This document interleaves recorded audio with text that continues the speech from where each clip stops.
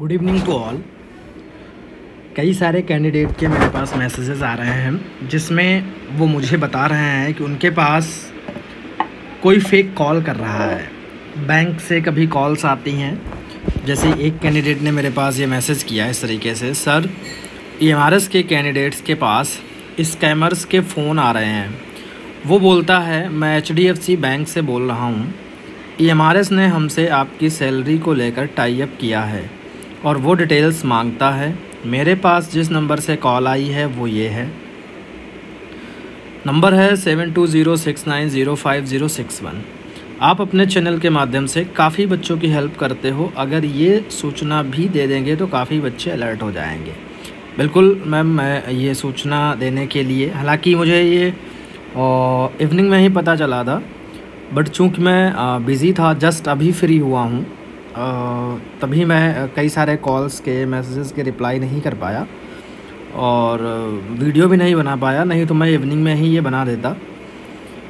But चलो कोई नहीं, आपने मुझे कहा है तो इस वजह से मैं तुरंत ही वीडियो बना रहा हूँ।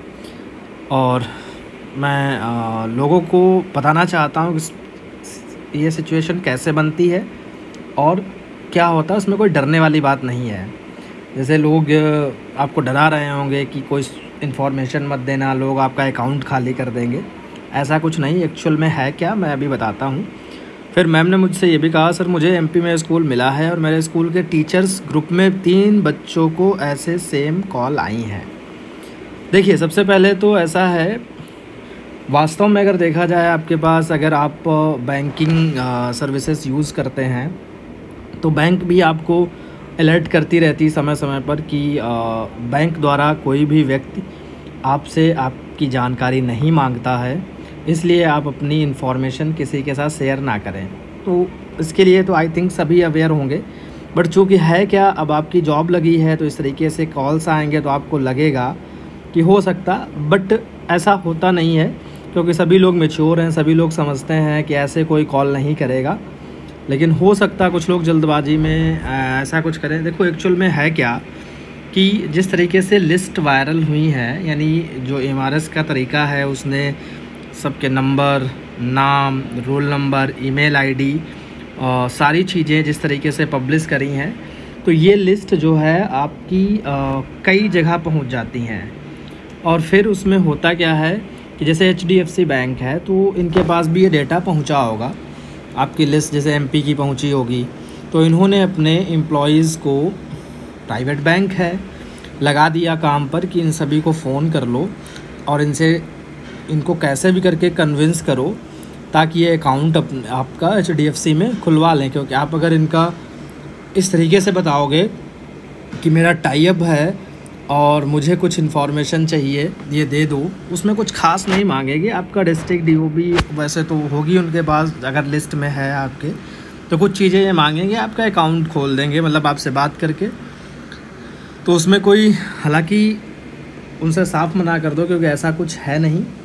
ई e पहली बात तो एक चीज़ ध्यान रखिए, जितनी भी गवर्नमेंट जॉब्स हैं, वो कोई भी हों चाहे ई एम आर एस हो एन वी एस हो के वी एस हो, या आपका स्टेट बैंक हो, या कुछ भी हो तो कभी भी इनका टाई अप प्राइवेट बैंक के साथ नहीं होता है। सबसे पहले आप ध्यान रखिए मतलब सैलरी से रिलेटेड जो सैलरी अकाउंट जैसे कि मैं के वी एस की बात करूँ तो के वी एस अपने एम्प्लॉयज़ को रिकमेंड करता है U B I union bank of India तो ऐसे ही होता क्या है कि हर उसका एक अलग, जैसे कि ज़्यादातर लोग एसबीआई को रिफ़र करते हैं।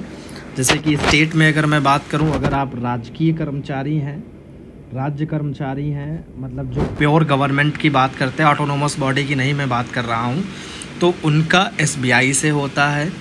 हालाँकि अब क्या हुआ है कि आप अपना कोई भी अकाउंट दे सकते हो उनको। कोई ऐसा बाउंडेशन नहीं है जो अकाउंट वो खुलवाएँगे, वही देना है। बट हाँ यहाँ पे क्या है कि जैसे जिस तरीके से बात कर रहे हैं, मैं H D F C bank से बोल रहा हूँ या मैं वहाँ से बोल रहा हूँ, मैं इस बैंक से बोल रहा हूँ तो वैसे भी आप कोई अपनी डिटेल मत शेयर करिए। कुछ भी मत उन्हें दीजिए।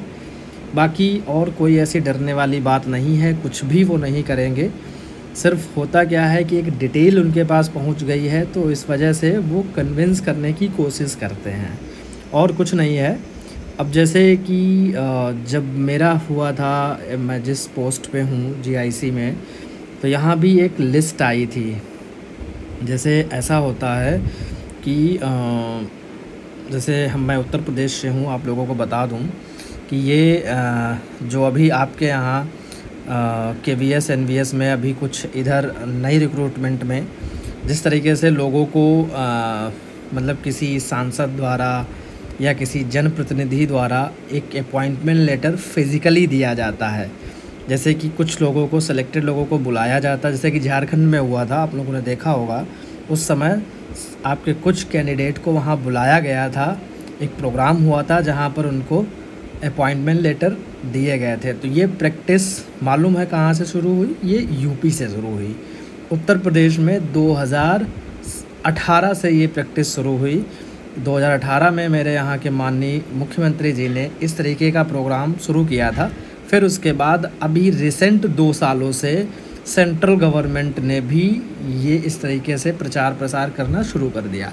इसमें होता क्या है कि जैसे हर डिस्ट्रिक्ट में जितने भी लोगों का चयन होता है, उसमें टॉप टेन कैंडिडेट फिज़िकली बुलाए जाते हैं।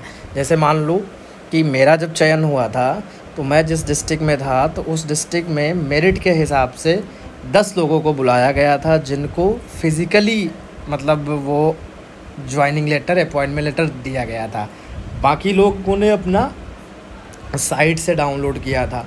तो हुआ यह था कि हर डिस्ट्रिक्ट से ये दस दस लोगों का जो नाम था, ये नाम मोबाइल नंबर और ईमेल आईडी ये पूरा वायरल हो गया था उस समय।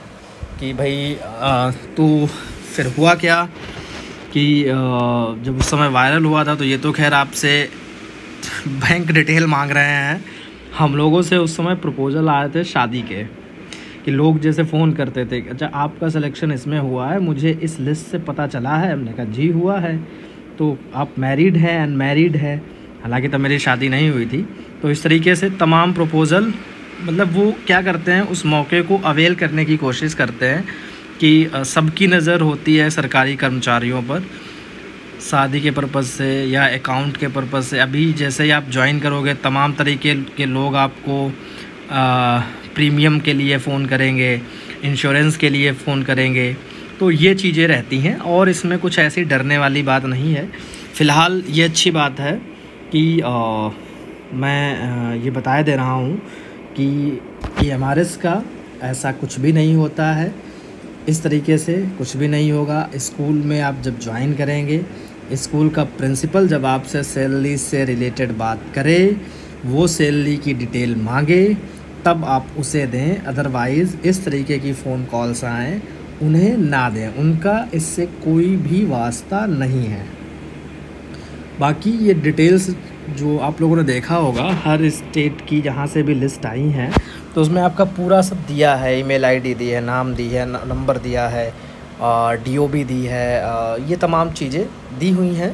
तो वही उनके पास डेटा पहुँचा होगा। वैसे भी आजकल ये लोग जानते ही हो, कई बार क्या होता है, आपके पास कभी अच्छे प्रलोभन को लेकर के लोग फ़ोन करते हैं, मुझे आपका यहाँ से नंबर मिला था तो तमाम चीज़ें रहती हैं।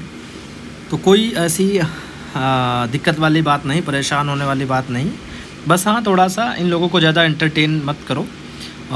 तुरंत है, अपना फ़ोन ऑन करें। पहले तो फ़ोन काट दो और उन्हें समझा दो। और ज़्यादा है तो थोड़े, तुम भी मज़े ले लो उनसे। मैं, मेरे पास जब ऐसी कॉल्स आती मैं तो अगर मेरे पास टाइम है तो मैं फिर इंटरटेन करता हूँ उनको अपने तरीके से। तो अगर आपके अंदर भी ये हुनर है, कर सकते हो बेहतर। तो बस यही बताना था। बाकी ऐसा इनका कोई टाइप वाइप नहीं है। हाँ अभी एक वीडियो मैं बनाऊँगा, जिसमें कुछ एन के और के के एम्प्लॉई हैं, जो अभी वर्किंग हैं, क्योंकि इस समय छुट्टियाँ चल रही हैं। हालाँकि कुछ जगह ख़त्म हो चुकी हैं स्कूल्स शुरू होने वाले हैं। तो बताना ये है, उनको सी एल ई एल लेनी है तो उससे रिलेटेड कुछ बात करेंगे अभी। क्योंकि ये आप लोगों के लिए भी जानना ज़रूरी है। जो भी गवर्नमेंट एम्प्लॉज़ हैं तो उनके लिए बहुत ज़रूरी है। आपको ये पता होना चाहिए कि छुट्टी के क्या नियम हैं। क्योंकि अभी तो खैर यही है कि भाई जब तक हम बेरोज़गार होते हैं, हमारे पास सिर्फ़ एक ही उद्देश्य होता है कि नौकरी कैसे मिले। भाई बाकी चीज़ें हम उतना ध्यान नहीं देते हैं। हमारा सिर्फ़ एक फोकस होता है कि नौकरी मिले। उसमें भी लोग कहते हैं, यार नौकरी कहीं भी मिले हम कर लेंगे। जैसे हर इंसान जिसके पास नौकरी नहीं है, क्योंकि आजकल इतनी तादाद में लोग बेरोज़गार हैं वैकेंसीज़ भी कम आती हैं, सरकारी नौकरियाँ हैं नहीं तो लोग आजकल सुना होगा कि भाई हमें कहीं भी भेज दें, हमें अंडमान निकोबार द्वीप समूह भी भेज दें, मैं वहाँ नौकरी कर लूँगा, ऐसी बातें लोग किया करते हैं। और सही भी है, नौकरी मिलनी एक अपने आप में होता है कि हाँ हमें नौकरी लेनी है, लेकिन जिस दिन हम ज्वाइन कर लेते हैं, फिर उसके बाद जब तीन चार महीने हम नौकरी करते हैं तो तीन चार महीने नौकरी के बाद फिर हमें वो चीज़ें जब पता चलती हैं कि अरे, छुट्टी नहीं मिलेगी, घर नहीं जा पाएँगे, या मान लो घर में कोई काम है, फिर हम कैसे करें, क्या रूल्स हैं, क्या रेगुलेशंस हैं?